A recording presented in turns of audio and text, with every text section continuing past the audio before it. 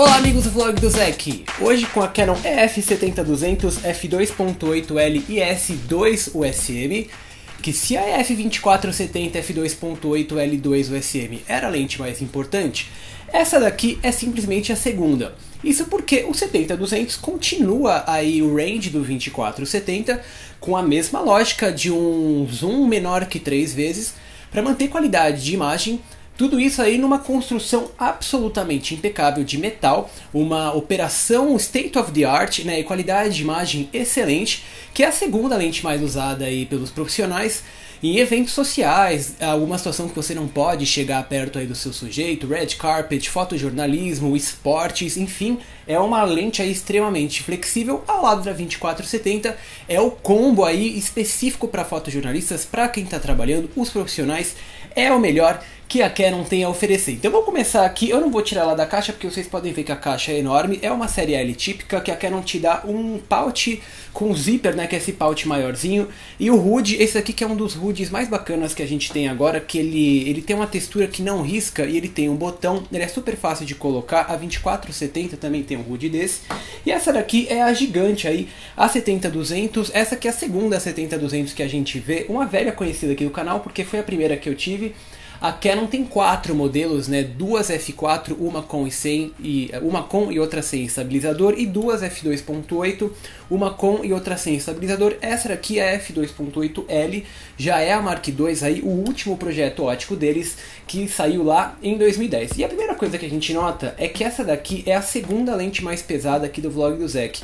Ela é mais pesada que a 100 400 e de, é, de projeto essa daqui é a mais complexa em 23 elementos em 19 grupos. Mas tudo isso numa construção totalmente feita de metal, state of the art, que aí, uh, se você pegar essa lente na mão, você vai ver o que de fato coloca a Canon aí no topo do mercado, né, a favorita dos profissionais, porque essa lente é extremamente bem construída. Também uma lente de operação simples, né, que você vê aqui que na sua mão vocês conseguem ver aqui na minha mão que o anel de, é, de foco aqui na frente está próximo aqui do meu dedão e do meu dedo aqui do meio e o de zoom está aqui perto do meu dedão e o meu indicador, que é uma operação que você sequer tem que tirar né, o seu uh, o olho do corpo e nem tirar a mão para mexer esses dois anéis. É extremamente bem posicionado, tudo suave né, e preciso. Aqui na frente a gente tem o anel de foco que é extremamente grande, não tem nenhum joguinho. E aqui a gente tem o de zoom que ele tem apenas 70 graus de giro, né? Então aqui do 70 ao 200 você gira super rápido. Vocês já veem que o design é totalmente interno, ela não expande para uma construção aqui extremamente robusta. Do lado de dentro, ela tem aí a especialidade né, da Canon, outro motivo que coloca eles no topo do mercado, que é o motor ultrassônico do tipo Ring, que é extremamente rápido. Essa daqui é a lente mais rápida que a gente já viu aqui no canal. Ela provavelmente tem um lag aí de menos de um décimo de segundo para focar em qualquer uma das distâncias. E ela tem também o estabilizador, que é o estabilizador também aí, eu acho que é uma geração antes da mais nova que eles têm agora.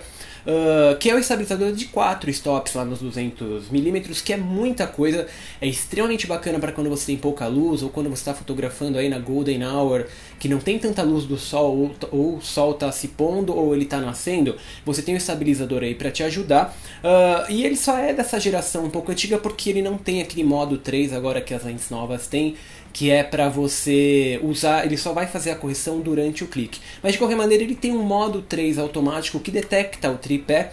Enfim, é uma lente aqui extremamente uh, bem feita, cheia de recursos, o melhor que a Canon pode oferecer. Aqui do lado ela tem quatro botõezinhos que controla tudo isso, né? Ela tem o liga e desliga aqui do estabilizador e do foco automático.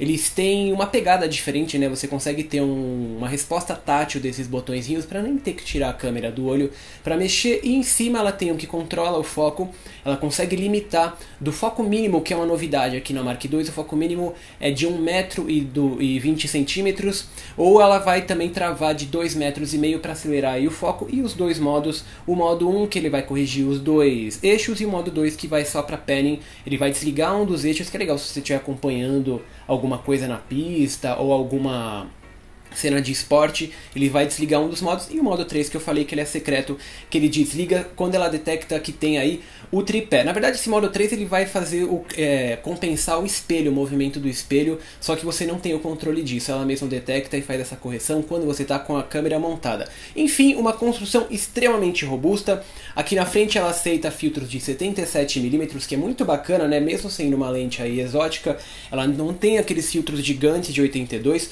Vou montar o HUD aqui para você ter noção do tamanho. Ó, é super fácil de montar. Vem o pé de tripé na caixa, né? Esse pé que você destaca aqui e ele gira em qualquer uma das orientações. Ele também tem até um, um dos degraus aqui que ele consegue sair. Vamos montar na nossa 6D para vocês terem noção do tamanho. Aqui que a gente completa a linha profissional da Canon, né? Com a 2470 f2.8, a gente viu as duas, a versão Mark I e a Mark II, e agora aqui a Mark II da LIS USM que aí, se você for em qualquer evento ou for em qualquer jornal, é este equipamento que eles estão usando. Aqui, tudo que é classudo da Canon, olha só como é que fica. Montaram a nossa 6D A70-200 f2.8 LIS2 USM.